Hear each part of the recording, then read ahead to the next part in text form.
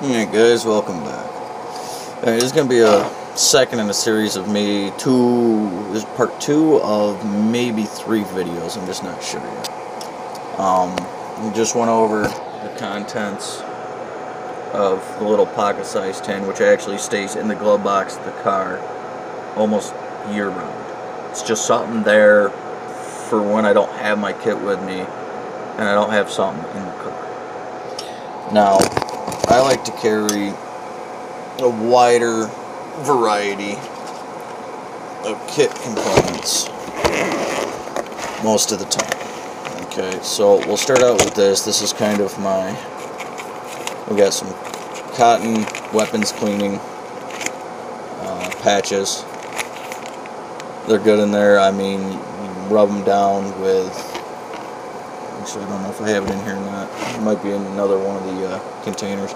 But a little bit of fix and wax or beeswax. Usually I use fix and wax. Flame extender. You get your fire going a little bit longer. Okay, this is actually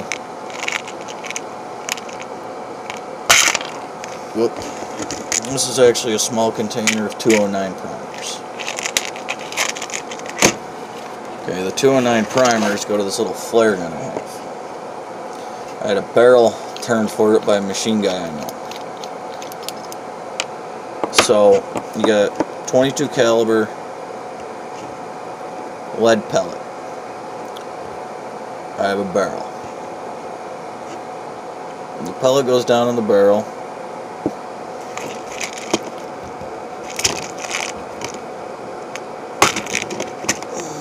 The 209 primer sits directly on top. There's no rattle, no nothing. It's perfect for that.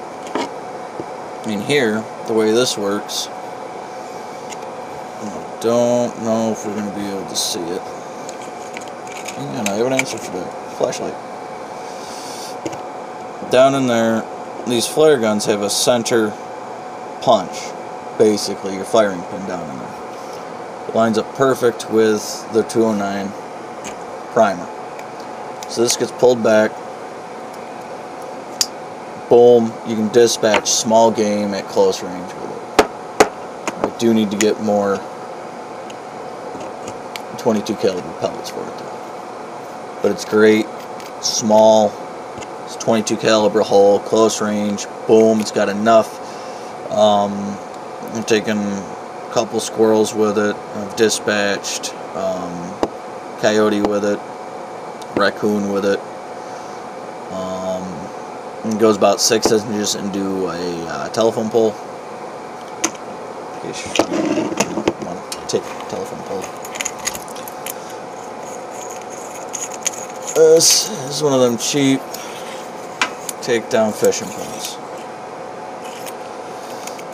Um, for the space it takes up, I can't really complain about it. It's a pocket fishing kit that I upgraded two yo-yo reels. I mean, you set them, forget them.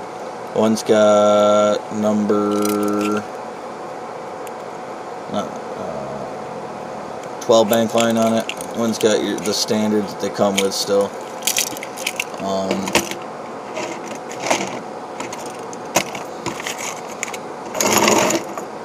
go over the contents of that in a minute. And the full thing of the military tripwire. It's great for squirrel for squirrels, small game. Snares on the on the pole, leaning up against the tree, and wait. Set two or three of those out. Um, you know, lashing anything wire is good for. Anything cordage is good for. This will do. Um, mini fishing reel. It's got 50 pound test SpiderWire on it, which is great because it's only a diameter of like 14 pound or something like that. This, yeah, sorted hooks, um, things like that. Um, you know, some jigs, different hooks. Uh, in here, which has got a crap ton of that SpiderWire wrapped around it. Got a ranger band on there, two ranger bands, uh, some cargo tape holding the end of the line down. Can actually be used as a hobo reel. Inside we have different packages of hooks, and I leave them in the packages because it gives me cardboard to start on fire if I have to. I got a couple steel leaders, a couple uh, rubbers, another thing of fish hooks, and the goodie bag. In clear plastic container. But the goodie bag's got tons of hooks, uh, sinkers, swivels, some uh, these worm things that I can't find anymore. I've had these things for probably 15 years. So if somebody knows where to uh, find them, let me know. But yeah, got them years ago. Um, they're a worm that has a leader already run through it. So you just hook it up right there. But it's got three hooks in it. And it's great for fishing. Uh, bigger fish. And, I mean, I use that a lot up in upstate New York. Up in the uh, lakes up in the Adirondacks. That's where I use those a bunch. Um, not so much down here. But that's kind of like the, let's make sure we can eat tonight kind of pouch there. Which all gets jammed back down in here somehow.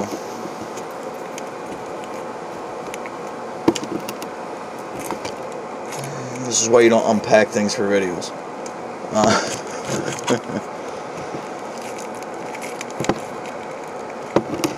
but yeah. So, I mean, the steel leaders, I'm going to pick up longer ones at some point because I've seen a few different ideas on using them for snares in emergency situations. But what I find here is, you know what, I've used this kit. I, I mean, I bought this from the Pathfinder School or uh, Self Reliance Outfitters a couple of years back. But it's the same innards basically as the kit I used up in the Adirondacks. And that'll go as back into here.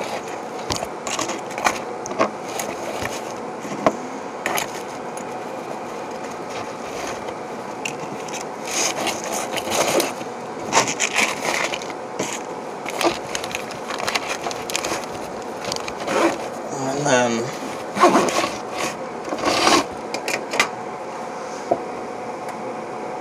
another little bag here. Another pouch that actually these came out of. But those slide right down in the side. Okay. We'll go over the contents of these in a minute. I got an all-weather space blanket in here, rolled up nice and tight. It's about the size of a 32 ounce water bottle. And then here's a soda can for comparison.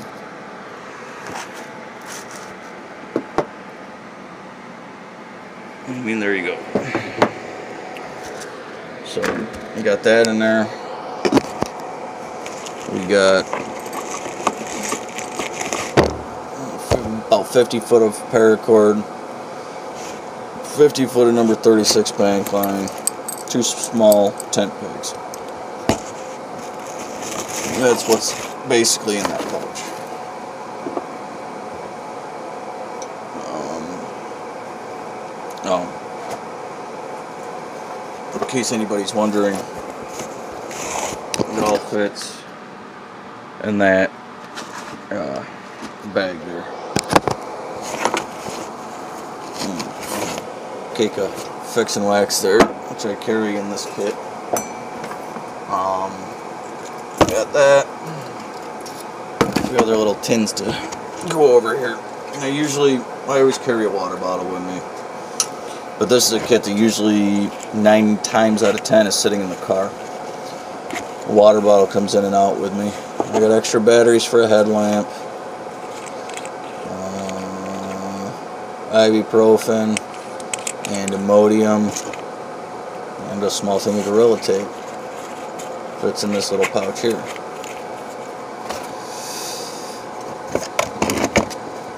I like this next one up. I like things staying closed, so Gorilla Tape or Ranger bands and everything. This has a Sawyer filter in it, more bank line. It used to have a sail needle in it. Um, chapstick, which is a beeswax one, and a big lighter. So I got the container, a way to literally filter water, fire, combustion, cordage, And mental note to add a sail needle to that. Which I think I only have two, and one's in the back of my knife that's up in the hunting bag, and one's in the other tin. This tin here is kind of another larger version in a way of the little one. Um, Bic lighter. We have some artificial sinew, which burns spectacular.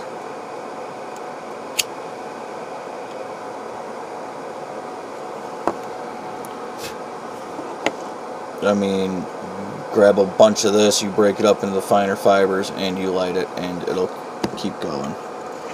We got some uh, micro infernos. Hunk of fat wood. Uh, this is an older version of the Champ. And then I got some spices floating around down in there. Now this knife I love. Because it's got everything. I mean...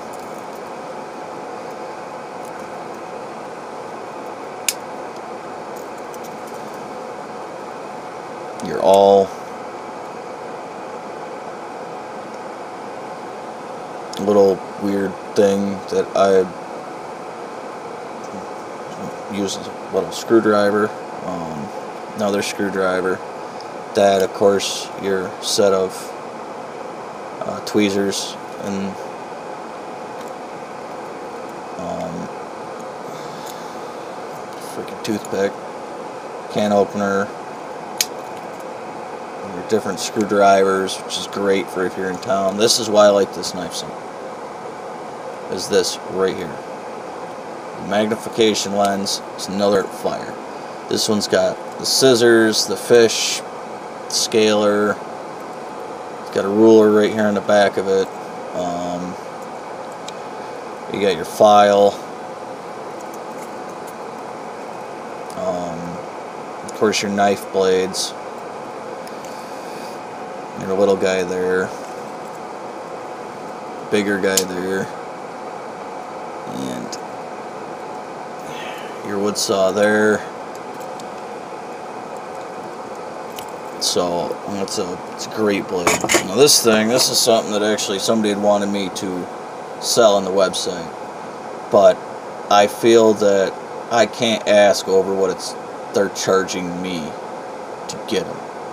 Now they're charging me they they want to charge me. I'm not going to say the company, but they want to charge me fourteen dollars, fifteen bucks after shipping and everything per one of these. Now what this is, it charges up with the USB. This uh, like an Android uses. And basically, it's a electric lighter. So, it's not an open flame, but, I mean, it works. Um, here we go.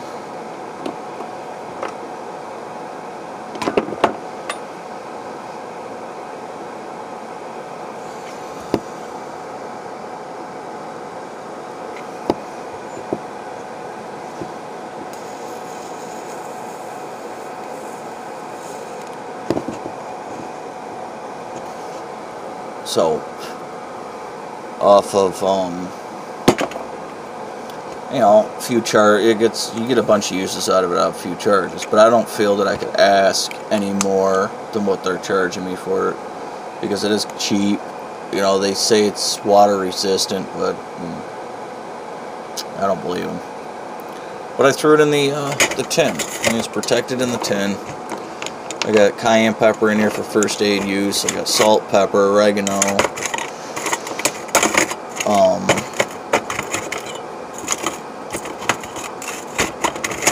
yeah, I mean, realistically, though, it's like I was saying about that, I can't charge more really than I can't make money off. So, you know, I'm willing to take a close hit on some items, but not when it comes to stuff like that. Now this, we got a little ferro rod, a little hunk of a candle. Um, there's a little Gerber shortcut. This thing is cool because scissors. You got scissors, um, which are in the center. You got a knife blade, nice little guy. You got tweezers there. That's actually a set of tweezers. When you fold it out, so another set of tweezers. You got a small flathead larger flathead with the little can opener, bottle opener thing on it. And this can actually be used as a Phillips because it's tapered right there on the end. Um,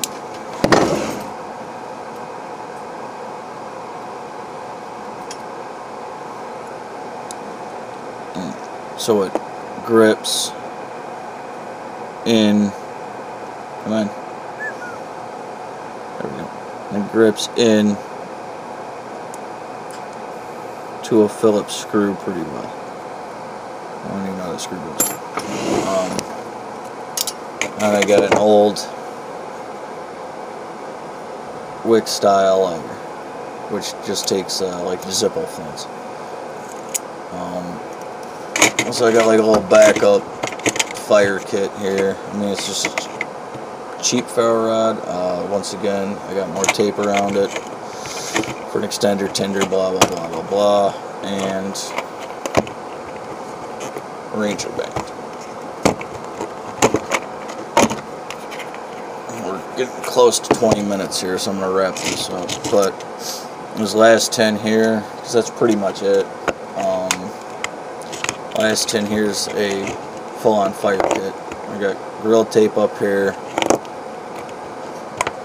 I got the Ranger band that holds it close, so I got tinder and everything. I got a, whatever you want to call these, I, I always call them a uh, rope match. It's a piece of brass that I cut down through the puffy wick material through it. The only thing about this is high humidity, these things do not agree very well. Brand new Bic. Flint and steel kit char cloth in there and cloth to be made into char so it's still viable for other uses. Getting this all back in here is going to be a pain.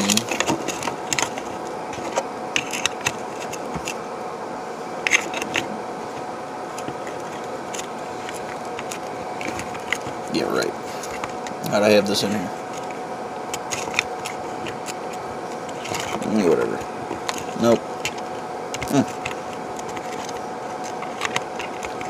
How you pack things so you can put it back together. Wisdom for the day.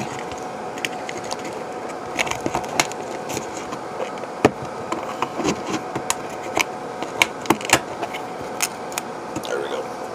That works. It might be time to switch that out with a new tin. Um, but, I mean, yeah, so it all goes into that one package I have. That, one bag, and it, it all fits well. Um, I mean, I have plenty of options of different things to use, and I still go back to these same items. Um, I'm not saying that things like the Nano Striker or the Tinder Zips or anything are bad. It's just um, on my one hunting bag and on my hunting coat, I got tinder zips on everything. Got a nano striker that's lashed into the pocket of my hunting coat. But for this, I have the other items that I'm using. The kit pretty much stays usually in the trunk of the car this time of year, just as something to have. I got plenty of ways to get water, purify water. I can boil it. I mean, there's plenty of ways. So, I mean, that's that's it. So, make sure to check out my webpage, cndfirearmsllc.com. I'll post a link uh, in one of the descriptions or once I figure out how to do that. Um,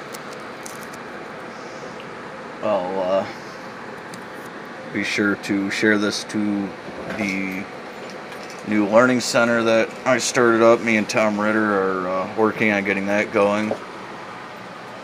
And uh, make sure to subscribe, hit the little uh, bell so you get notifications. I'm going to start doing more videos now that I figured out how to do them on my phone. And, uh, well, maybe I'll go over cleaning cast iron or, you know, finishing a shelf or something. I don't know what I'll go over next, but, you know, I'll try to do a video a week roughly for you guys. So, uh, thanks for watching and take it easy.